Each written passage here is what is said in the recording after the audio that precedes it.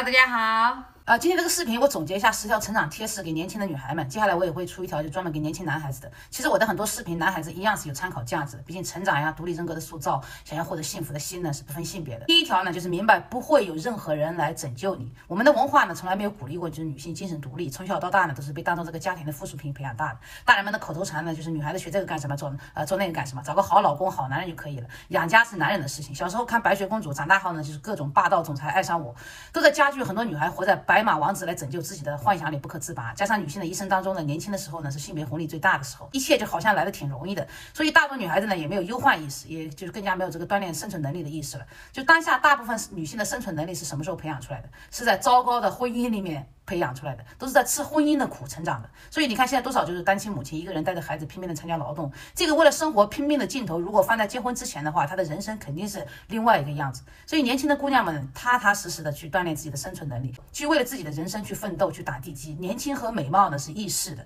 美貌换来的东西呢也不会长久的，因为带给你真正安全感的永远是你大脑里的知识、你手上的技能、你生活里的勇气。婚姻和男人是不会拯救你的。这个世上呢，也不会有任何人可以拯救你，除了你自己。就不要等到就被生活鞭打后呢，才恍然大悟，好吗？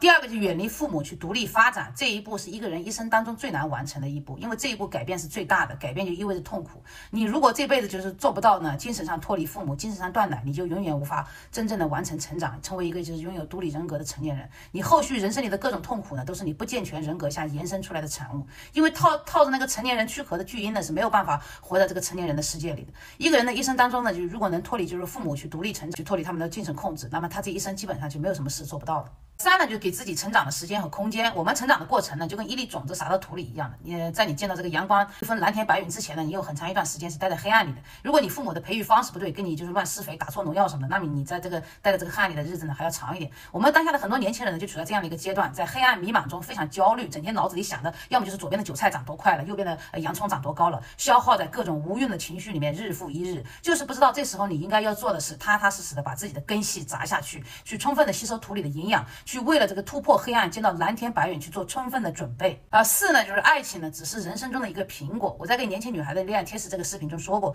人生如果是一个果盘的话，苹果只是其中的一个。很多女孩子在年轻的时候呢，没有培养出兴趣爱好，工作也不理想，经济也不独立，还没有自己生活的时候呢，在自己的人生的果盘还空空如也的阶段，把自己所有的精力时间呢，就花在跟各种苹果周旋上面。一个果盘里没有其他东西的女孩呢，一谈恋爱呢，就会本能的抱着苹果不放。所以，如果一个男人离开你不爱你了，绝大部分原因呢，呃，还是因为你自自己不够爱你自己，因为你没有自己的。生活，你除了苹果外就是一无所有。你占着这个苹果不放的手的这个姿态呢，是卑微的，是不自信的，是没有个人魅力的。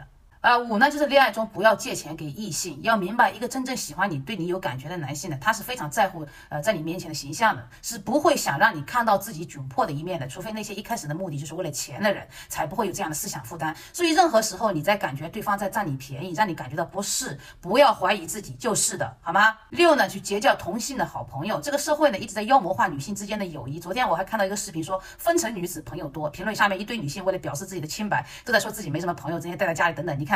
这个男性想要 PUA 就是这么容易，就女性呢一定要有自己的同性好友，就是那些限制你的人际交往、妖魔化你的朋友、隔离你和外界接触的人，都是在对你实施精神控制。因为朋友呢就意味着情感支撑，意味着信息的流通。你越被孤立呢，就越容易被左右、被控制。所以女人呢永远都要有自己的同性朋友，要有自己的正常的社交圈。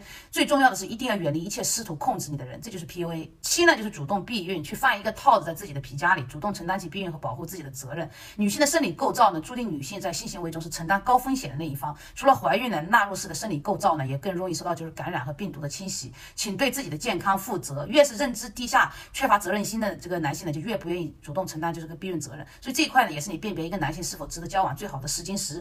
呃，八呢，就学个赖以生存的手艺。如果你学历不高或者职业上在九九六中很辛苦，去打破那种我读了大学就应该坐办公室工作呢，只有就是九九六的固化思维。以后我们会跟发达国家接轨，就是人工越来越贵，蓝领呢也会越来越受到尊重。呃，传统思维下的男性垄断的行业呢，你你都可以。去做的，知道比如厨师啊、理发师，你如果做得好，你反而会更加突出。就 Peter 的理发师呢，就是一个女孩子，三百块剪一次，就排队都排不上。第九个就去旅行。如果你困在生活中呢，不知道下一步该怎么走，我的建议是做三件事情：健身、读书和旅行。这也是为什么就很多西方年轻人呢会选择就间隔年，就是休学一年去看世界。因为你的生活质量永远是跟你的认知成正比的。这个认知呢，一是读书，二个就是行千里路。好，感谢大家耐心观看，那我们今天到这里啊，别忘记转发给你身边需要的女性朋友。啊，那我们周一有直播啊，别忘记，嗯，拜拜。